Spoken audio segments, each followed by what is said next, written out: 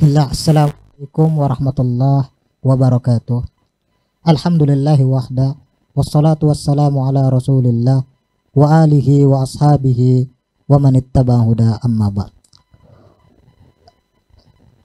Ramadan adalah gudangnya doa dikabulkan. Ramadan adalah tempat di mana banyak doa akan diijabah oleh Allah Subhanahu wa taala. Jangan pernah bosan berdoa. Allah Subhanahu wa taala berfirman, "Ud'uni astajib lakum."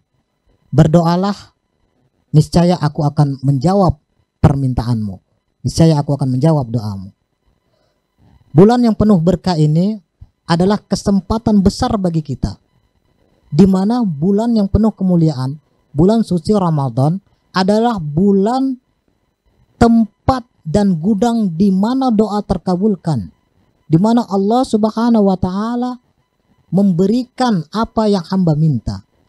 Bukankah Allah dalam hadis Rasulullah Sallallahu alaihi wasallam mengatakan bahwasannya ada tiga dakwah yang tidak akan pernah ditolak oleh Allah Subhanahu wa taala.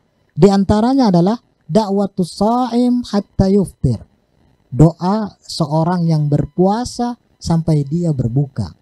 Ramadan kita berpuasa ini kesempatan emas bagi kita untuk berdoa sebanyak-banyaknya. Jangan pernah bosan dalam berdoa. Al-Imam Ibnul Zawji mengatakan, jangan pernah bosan untuk berdoa. Sebab ketika engkau merasakan bahwa Allah mengakhirkan doamu, itu adalah untuk kemaslahatanmu.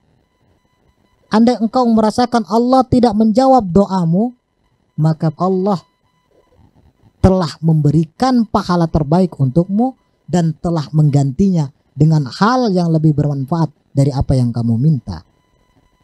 Ingat, jangan pernah berdos, jangan pernah bosan untuk berdoa.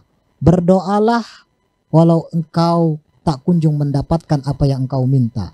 Sebab doa dikatakan akan pasti terjawab dalam tiga hal. Yang pertama, Allah jawab seketika.